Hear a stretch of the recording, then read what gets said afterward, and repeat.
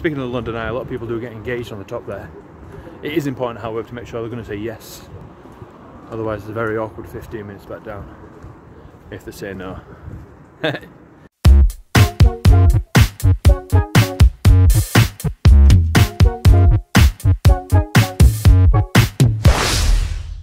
Alright, hello. So today we're going to be having a little walk here from Buckingham Palace to Piccadilly Circus. Very easy little route. Let's see what we see along the way. Here we go.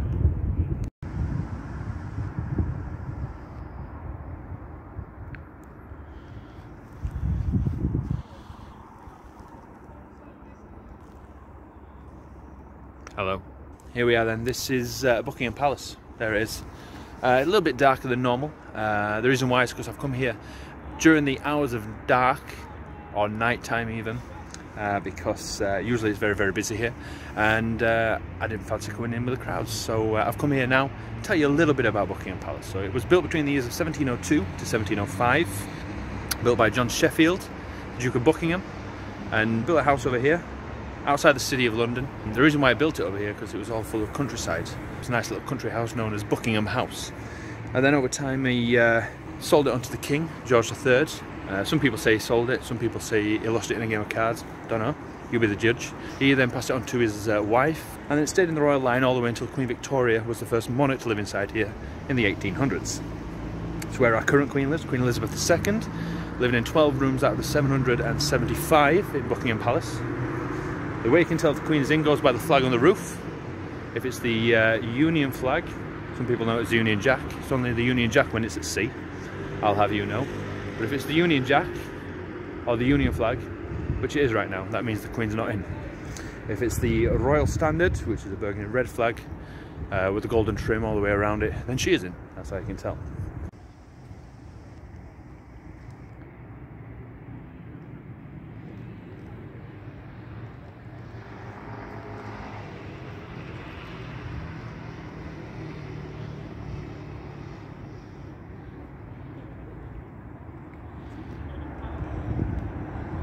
Alright, so we're just going to make our way away from uh, Buckingham Palace.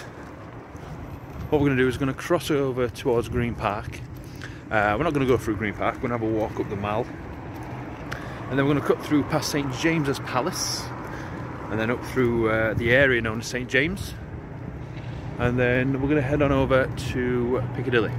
And that's where we're going to uh, finish our route for today. So uh, we'll say goodbye to Buckingham Palace.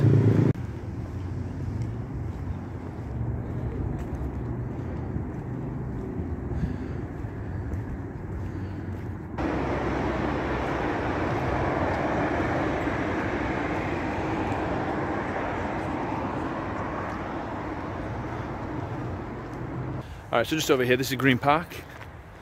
Um, not going to go in there right now, it's pretty dark. So uh, we're going to leave that one. But uh, if you do want to actually uh, know a bit about Green Park, uh, just check out my video. Here's a link, just up here. There you go. Oh, it's up here. There you go. Right then, so we're just making our way up the Mall. It's a fair old trek, I'm not going to lie to you. Uh, Buckingham Palace there is behind me in all of its glory. Uh, this is the Mall where the Queen will come up and down here on great state occasions, for instance, uh, the Trooping of the Colour uh, takes place on here. Hence the reason why the road, let's have a look, can't really see in this lightness, there you go, a little bit of redness. The road is red for Her Majesty, so it's like a red carpet up and down. You can just about make it out in the light there. The lamps on the side as well, these are actually original gas lamps, believe it or not, from uh, Victorian, Georgian times, Edwardian. This lamp right here, you can't really see, but on the top of it, you can see a little ship just up there. Let's see if we can zoom in. Just about make it out. So, uh, all up and down the mall, we've got these ships on tops of the lampposts, all facing towards Buckingham Palace, towards the Commander-in-Chief, just over there. So, uh, carrying on walking.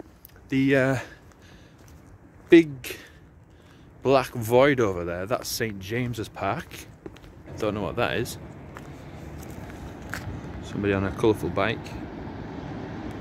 Oh yeah. There he goes. Just down here is Clarence House. That's where Prince Charles lives with uh, Camilla. Just down over there. Can't really see it right now, but uh, that's where they live. Moving on up the road. Can just about make out the London Eye in the background there. 32 pods all, all the way around that.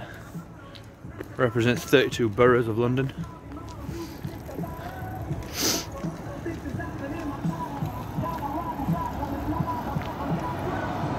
There you go. No number 13 though, as it's considered unlucky. So it is possible to get into pod 33, even though there's only 32. Quite an international project, all the different pieces were built all around Europe, then shipped up the river to where it stands to this day. It's built flat on the river, then raised into position. Original name of the London Eye was the Millennium Wheel. Uh, top points for anybody who can guess when uh, it opened up. 21 years old and then uh, got rebranded into the Coca-Cola London Eye. Now it's sponsored by lastminute.com, now known as the Pink Eye. It's lovely coming out this time of night. Speaking of the London Eye, a lot of people do get engaged on the top there. It is important, however, to make sure they're going to say yes. Otherwise, it's a very awkward 15 minutes back down if they say no. Here's a gas lamp. There it goes. Alright, coming around the corner here, this is the, uh, can't really see it, but it's here, there it is. Try brightening it up for you in the edit. Uh, this is the wall of St James's Palace. Uh, we'll see if we can get a better look over here. This is where the Change of the Guard begins, uh, when it's back on. Obviously, uh, been off for a while during COVID.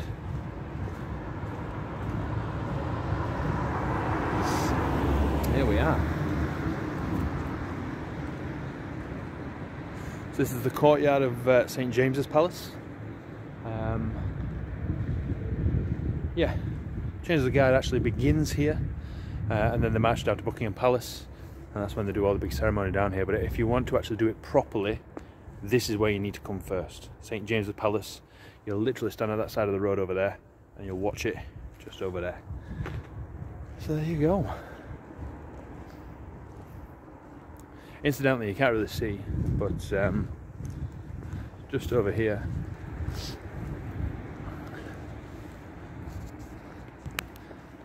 can't really see the statue.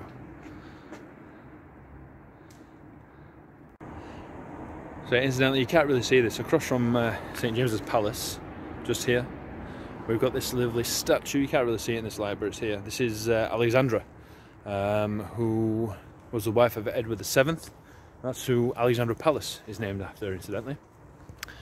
This is uh, a lovely little chapel right here. And this chapel right here is where Princess Diana laid in state before her funeral.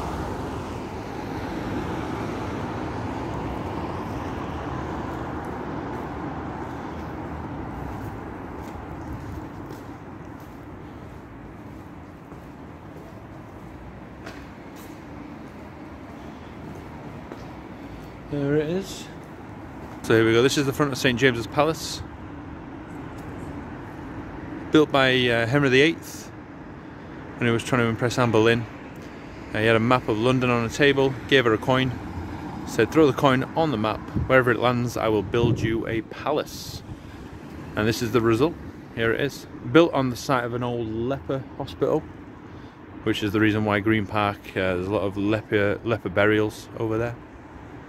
Well, the only part really left from uh, the time of Henry VIII is this uh, little section over here on the bottom. That's the oldest part. And there you go, St James's Palace. We're carrying on. So uh, we just walked up the Mall, which is down that street over there. We've walked up this road here onto this street, which is uh, a little bit more well lit. And this is Pall Mall named after uh, a ball game, Pally Mally.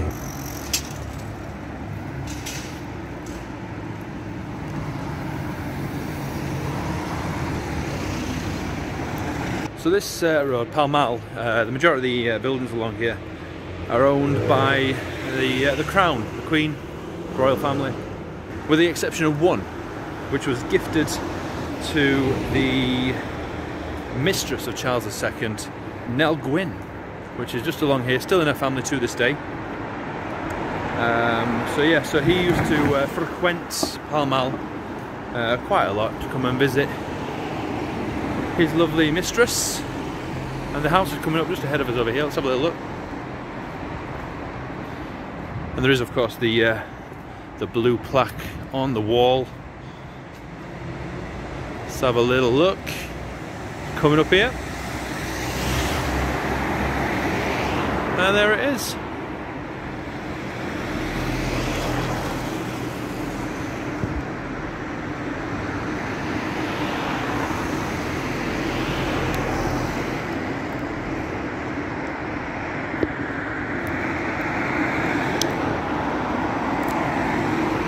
there you have it. Uh, continue along here, a lot of gentlemen's clubs along here, smokers clubs. Uh, the Reform Club is a little bit further down here as well. Reform Club, if you're not familiar with it, is where Phileas Fogg set off around the world in 80 days, uh, as well as uh, if you're a fan, Michael Palin. I'm a big, big fan. Michael, if you're watching, big fan of your work. He set off around the world in 1988. Uh, did it in uh, think it was 79 days. I could be wrong. It's been a while since I watched it. But yeah, he set off from here from the Reform Club as well. When he got back, he couldn't actually get back in. They wouldn't let him film the uh, the end of the series. So he'd done literally gone all the way around the world, visited all these fantastic countries, only to finish back at the Reform Club on time, but they wouldn't let him in. Absolutely shocking. Let's see if we can get a little bit closer to the steps.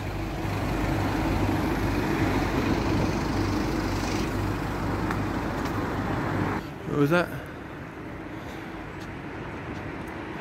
Frederick Winsor gave the world's first demonstration of street lighting by coal gas from a retort located here June 1807. There you go.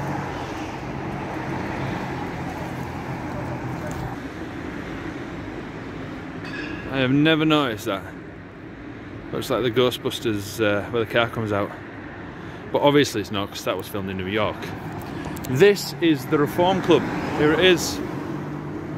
Big building right here. So yeah, there you go. These are the steps where uh, Michael Palin finished uh, around the world in 80 days. We're carrying on. Uh, we're coming to the end of Pall Mall now. We're going to take a left turn. And the left turn is going to take us up Lower Regent Street and that's going to bring us up to Piccadilly Circus where we're going to finish our little route for today. There we go, that's the Duke of York place.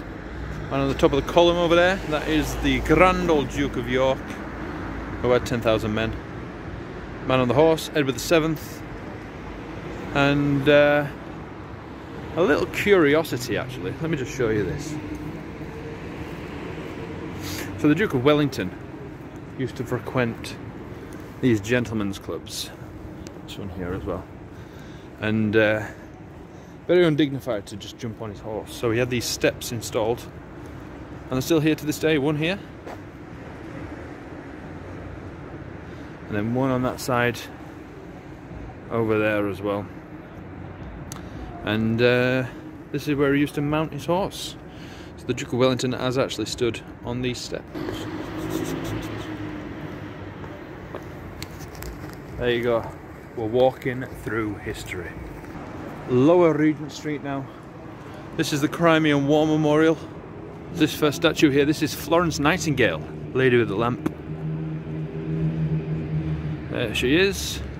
So look at these other guys as well. Um, they don't really get a big shout out. Sidney Herbert. Not really familiar with him.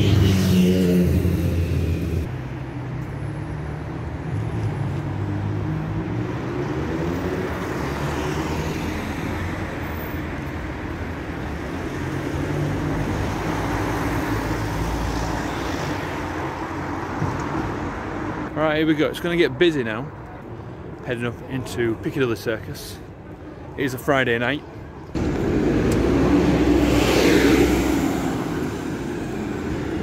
Right then, so just as we're making our way up here, um, a little bit about Piccadilly Circus.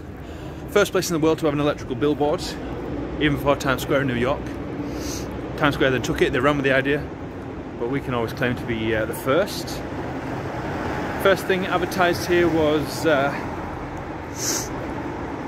I forget now.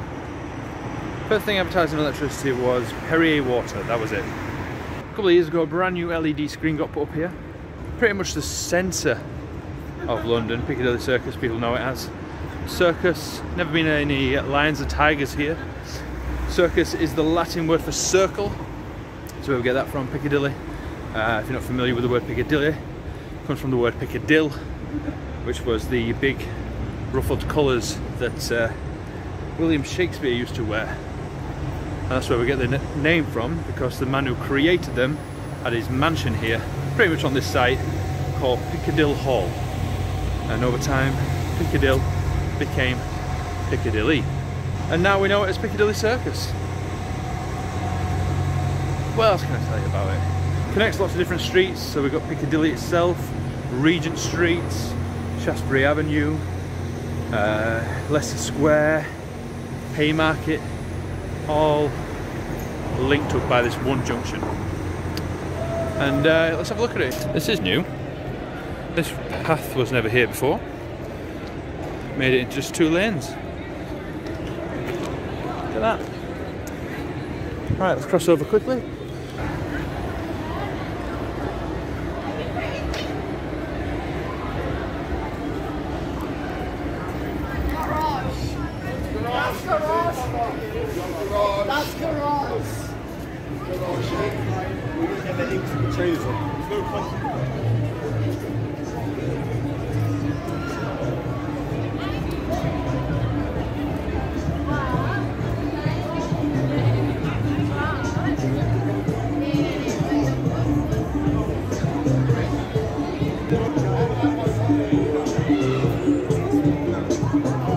Alright, so there you go. That is how you get from Buckingham Palace to Piccadilly Circus.